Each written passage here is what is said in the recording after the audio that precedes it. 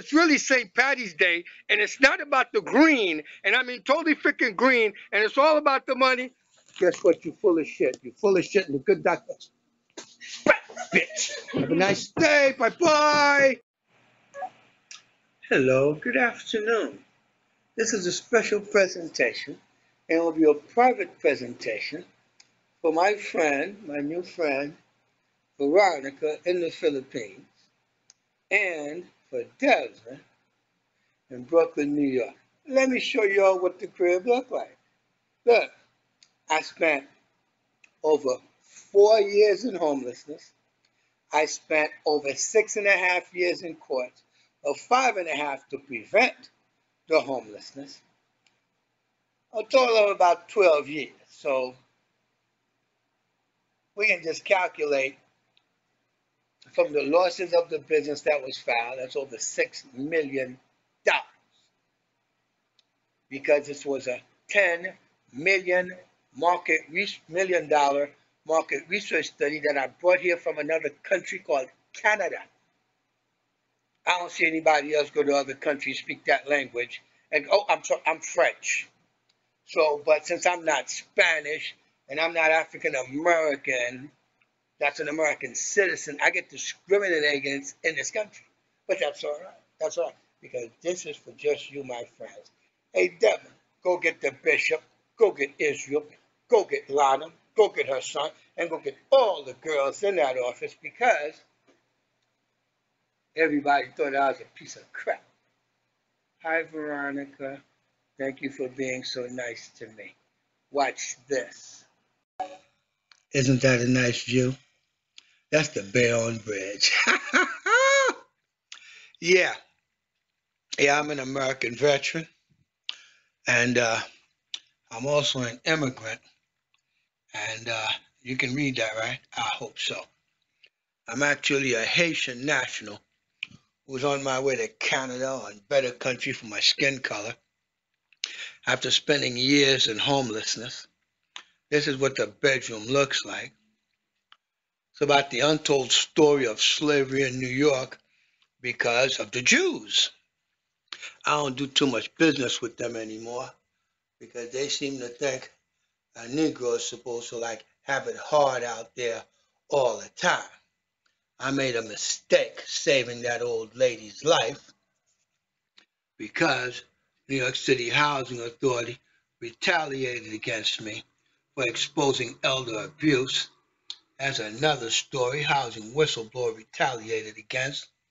And I made a documentary about it and I aired it on TV when Mayor Bloomberg was running for office while I was working in his office as a volunteer.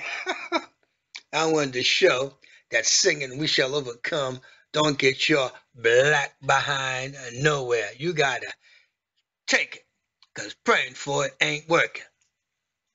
Wow, look at that, huh? I'm very comfortable, very comfortable. And I actually got to get on this ottoman to actually get up on there because the bed is just so high. It's beautiful. I got my toys right here because I like to go flying. These are my documentaries that I be airing on TV. That's just one of them trophies. I go from the little ones all the way to the big ones. I can fly it all. You saw in the newspaper article that they didn't let me go to warrant officer flight school. Well, you know, that's just a darn shame because I can fly on my own. I don't know what they talk about. I don't know what they talk about. So I'm going to go ahead and like, right after I'm finished with this, you know, kind of like living a little bit better because I had over a hundred thousand dollars worth of antiques and heirlooms taken from my home. And this is my documentary that just aired on TV Saturday morning, which is yesterday, all over Staten Island. And it's just a beautiful thing, what I'm able to do with my skills. You know what I'm saying? And this is called Lies by Obama and Cuomo to get in the White House. Lies, lies, lies. Let's go to the Clinton administration admitting their role in affirmative action that causes subprime. There goes the quote obvious, sometimes more subtle. I don't do them Democrats. Now let's go ahead. Oh, I'm sorry. Yeah, I'm a corporate executive that got plenty of suits in my wardrobe. I don't have to be running to Lana for $10 after I'm running all over town for Israel. What the hell is that about? That's because I got played for a sucker and I was taken advantage of. Why? I'm 58 years old and I look this good. Huh. Winners stand alone, Devryn. Because I'm the early bird that gets a snake and I'm radioactive to dumbass motherfuckers.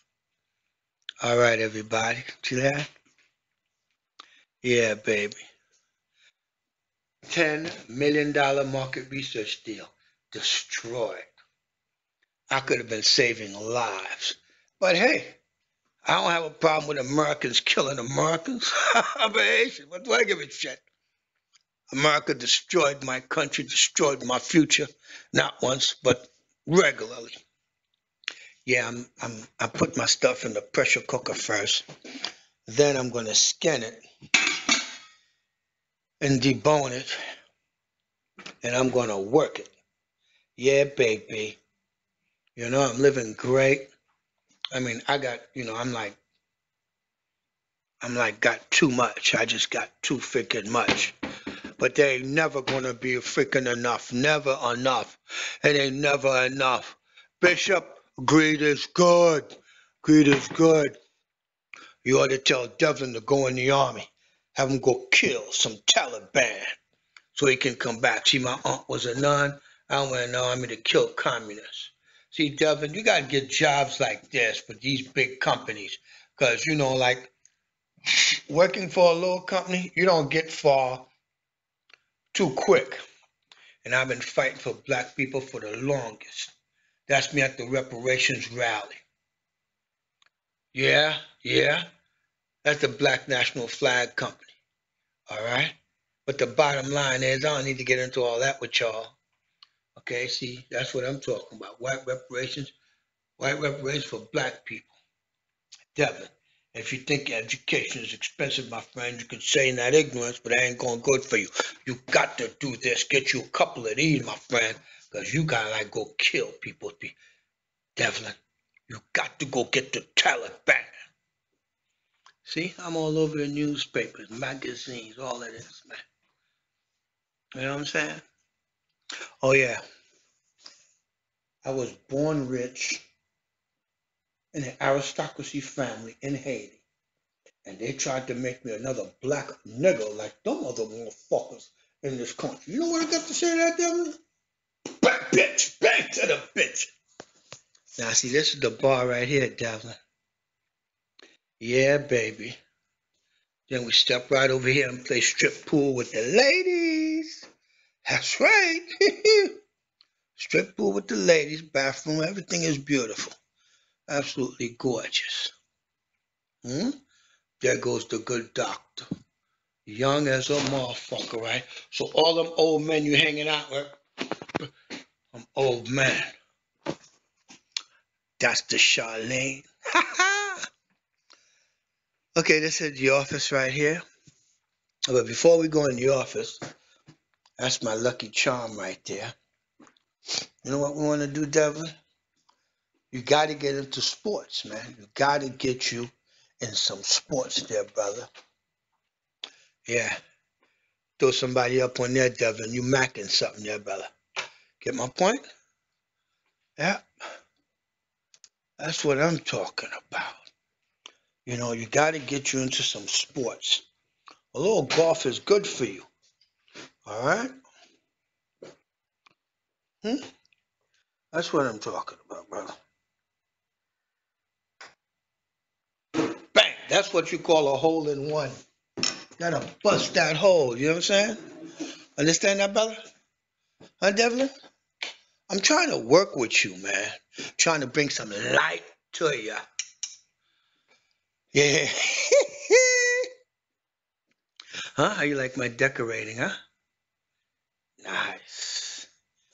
After yet, I only been here nine months. Imagine two years from now, from that, year and a half from now. See, this is the office. This is the captured flag of the Yiddish administration of Michael R. Bloomberg, which is a Jew that hired a Puerto Rican to railroad black niggers out of public housing. So that means that Puerto Rican will railroad his own colored kind. But he thought he was better than somebody. That's why I got his monkey ass fired in 2008 when I won the judgment. Then little Ricky Ricardo Morales, another Puerto Rican, that's railroad nigger, the general counsel, they made him chairman, and I won another judgment in 2009 and just busted his ass. And in 2010, hey,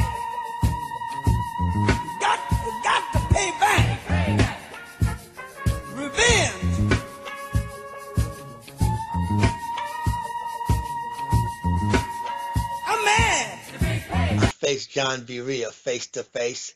And you can see that on my timeline, how to embarrass a commissioner of housing, and I embarrassed him in front of Obama. That's right. See, I got everybody's file right here.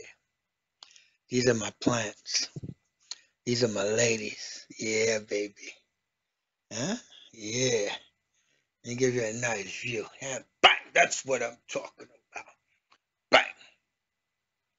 Yeah, baby. And then I go right out there on the roof and chill.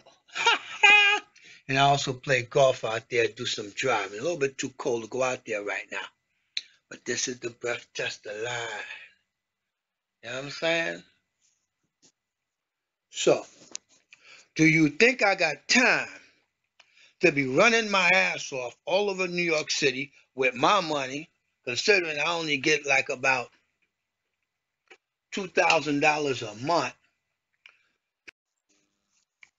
running around taking care of somebody else's business.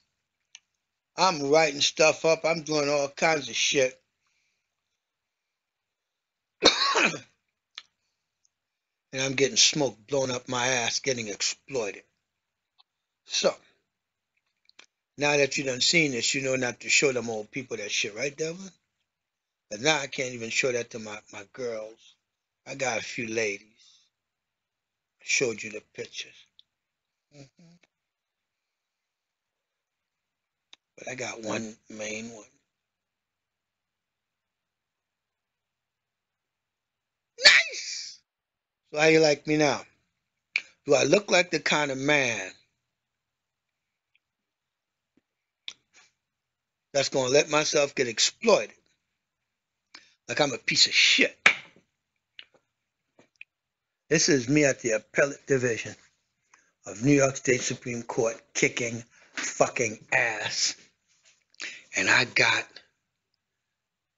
huh, the Attorney General's office court writing asking April Ann Agostino of the appellate court, docket number 2013 07504, I got Donna Fury fired on the motion to dismiss that was denied because she was an auxiliary officer in an incapacitated hearing to make me out to be crazy.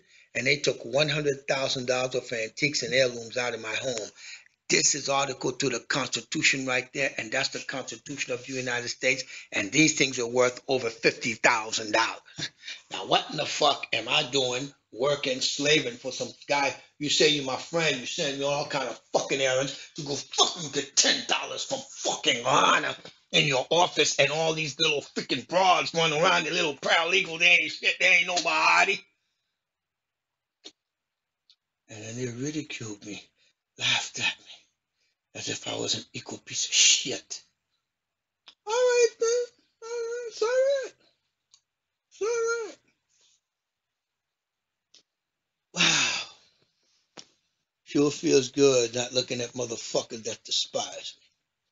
Thank you for being my friend, and I hope you gave all of them the newspaper so they can see we're not in the same fucking class, not the same goddamn league in the small fall. How you like me? I told you I was a good performer, great actor, man. So, oh, this is my ventilation video. So how you doing, Devryn? Bring the babes over. That kiss was for them. I salute you. Bye bye.